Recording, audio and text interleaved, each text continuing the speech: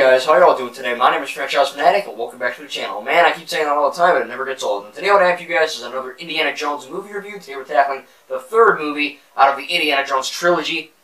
Wait, I'm wrong. There's one more.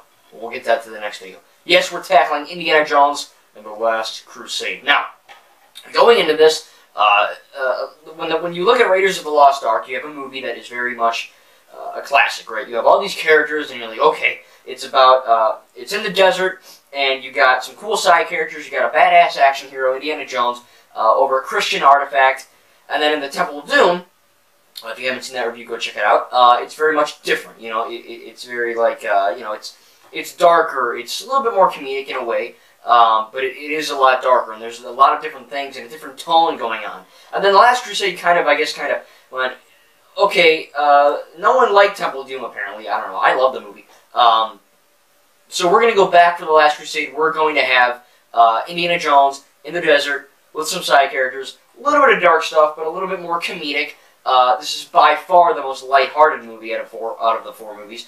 Um, and then you also go, okay, it also uh, I don't know how to word it. It's just it, it's also in the desert looking for another freaking uh, you know Christian artifact with the Last Supper cup, you know, and it's just like okay that's cool, but it's kind of the same. You know how a lot of people said The Force Awakens was kind of like a new hope? I don't mind that, but it is true. You know, they do tweak things, and I love The Force Awakens, but it is like a new hope. And then The Last Jedi, everyone hates for no reason. As you guys know, The Last Jedi is by far my favorite Star Wars film.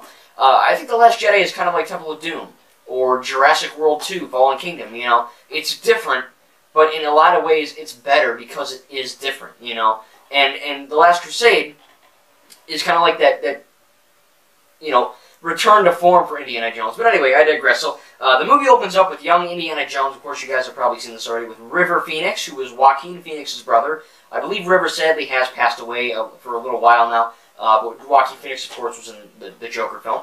Uh, again, one of my favorite films of all time. I just rewatched it, I think the fourth or fifth time with my father, and man, we he effing loved it. I loved it. Just a great movie. Um, so yeah, River Phoenix is young Indiana Jones. I never knew that until now. It even says in the back of the cover here.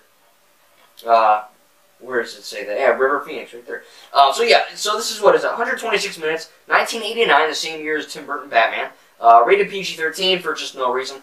Uh, it says here, I mean, there's reasons, but not here. Um, and again, it's a very straightforward movie. You know, you have Indiana Jones, Brody's back, uh, Sallah is back. You have uh, Elsa, not the Queen of Ice, the other hot Elsa. Uh, and then, of course, you also have, uh, what's his face, Donovan, who's trying to, you know, conquer the world and all that with, with the cup. Um, yes, it's kind of the same as Raiders, but it's different in that it's funnier, and that it has a lot of great action. Uh, most of the CGI problems I had were kind of fixed in this one, which is kind of nice. Um, it's still not perfect, but, you know, it is what it is.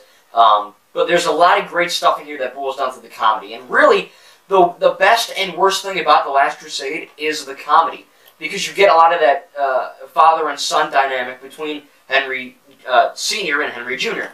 Um, Indiana Jones was named after his dog Indiana, which is kind of funny. Um, if you saw me play the Lego Indiana Jones, the original Adventures game, Last Crusade levels, I kind of went to Dad, you know, come on, Dad, we gotta go. And he's like, right, son, you know, all that stuff. It, it very much is, like I said, the, the sort of comedy, and I think it's it's a good thing because most of the comedy lands, I, I say most of the comedy lands, but not all of it, and some of it is just too much slapstick. It's like they went, okay, Temple of Doom was too dark, so let's have uh, Mr. Bean and Charlie Chaplin and all these funny guys from our past freaking, you know, just make you laugh. And that can kind of make it seem more kiddie and more cheesy and just more campy, you know? And it is what it is, but at the same time, you're looking at it and you're like, okay, most of the comedic stuff works. And there's a lot of heart. This is the first Indiana Jones movie, and probably, uh, well, one of the only ones to have actual heart. Raiders and Temple didn't really have that. This one you connect with him and his father, even though some of it's a little bit slapstick. But the action here is still great.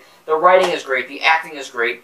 The storyline, while it is a little bit similar to Raiders of the Lost Ark, it is very much still a good, uh, you know, end for the trilogy. I don't think they were planning for a fourth.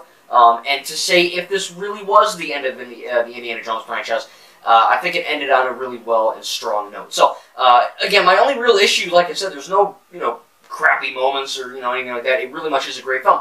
Uh, I do think that the end tank battle is really effing cool, but when you boil down to the comedy, a lot of it clicks, but then some of it doesn't. And then I'm just sitting there kind of cringing and being like, I didn't need that comedy. You know, it works and it's funny, but it doesn't really work in the Indiana Jones world. And they, the only reason, the only reason why the comedy is so strong and prevalent in this film is because Temple of Doom was so damn dark. And they went, okay, we got to boil it down for some odd reason. You know, I don't need movies to be extremely dark to be good.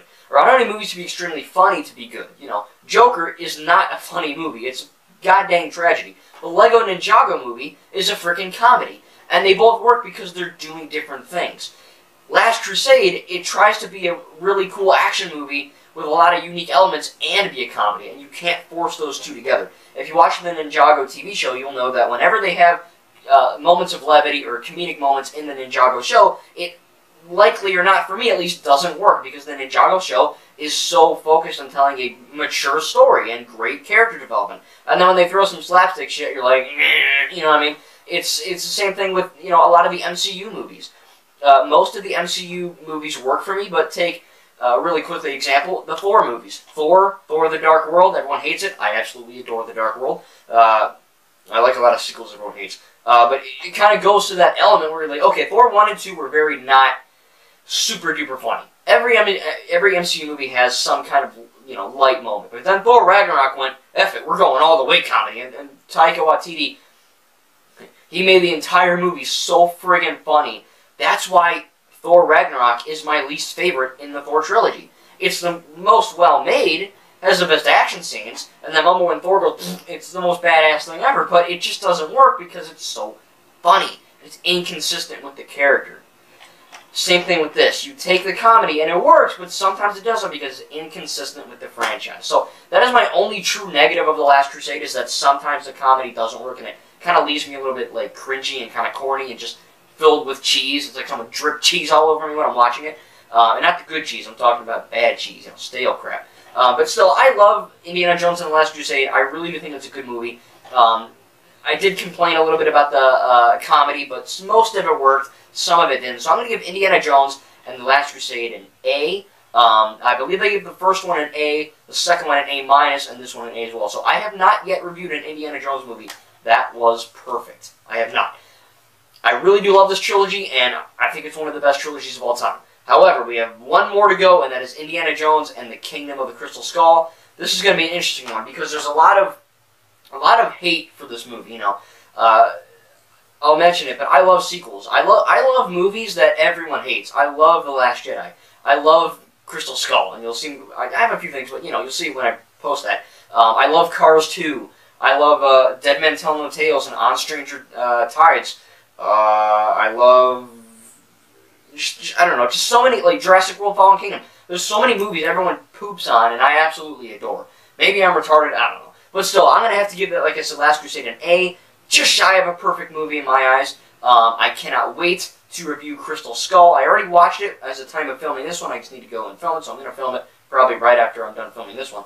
Um, so it'll already be done when this goes live. Uh, but I cannot wait to post that one. I hope you guys are enjoying the series. Please tell me what you think about Indiana Jones and The Last Crusade in the comments below. Make sure to stay healthy and wash your hands and avoid touching your dirty little face. Thank you guys, and we'll see you in the next video.